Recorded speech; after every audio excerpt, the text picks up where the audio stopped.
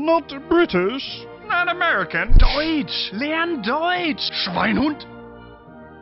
Hallo und willkommen. Ich bin Meister Lehnsherr und ihr seht Get Germanized. Learn German for Beginners. Lesson 9. The last episode was the first intensive vocabulary lesson with a focus on something all Germans love.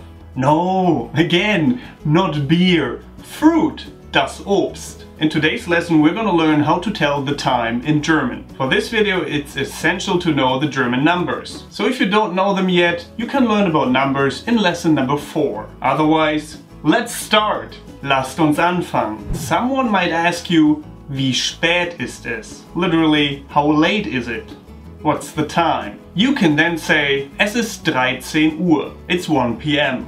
Or literally, it's 13 o'clock. We use the 24 hour system in Germany, so instead of saying 1 p.m., 2 p.m., 3 p.m., we would say 13 Uhr, 14 Uhr and 15 Uhr. If it's 1.25 p.m., you would say es ist 13 Uhr 25. The same pattern repeats for all combinations. Es ist 15 Uhr 45. Es ist 19 Uhr 10. Es ist 2 Uhr 17. Some other common ways of telling the time in German are as follows. Take note that these revert back to the 12-hour system. Es ist Viertel nach 1. It's a quarter past 1. Es ist Viertel vor 2.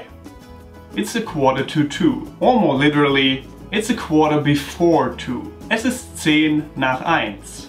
It's 10 past 1. Es ist 10 vor 2.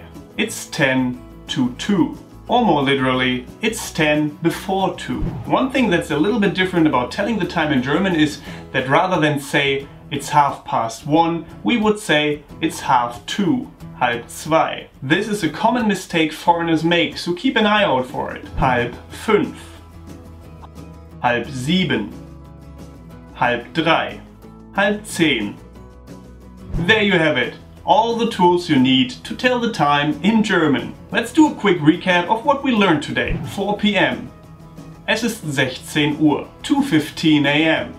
Es ist Viertel nach 2. 7.45 a.m. Es ist Viertel vor 8. 10.30 p.m. Es ist halb elf. That's it for today's lesson.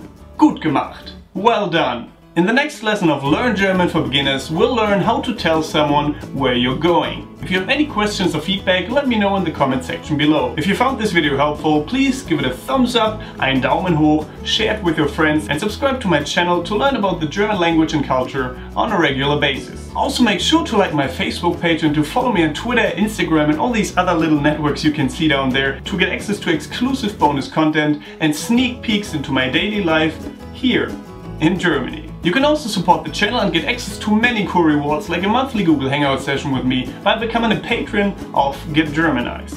To get to the Patreon page, you can click on that little orange P down there, or you can find the link to it in the video description. Thank you for watching, vielen Dank fürs Zusehen, don't forget to get Germanized, goodbye and auf Wiedersehen.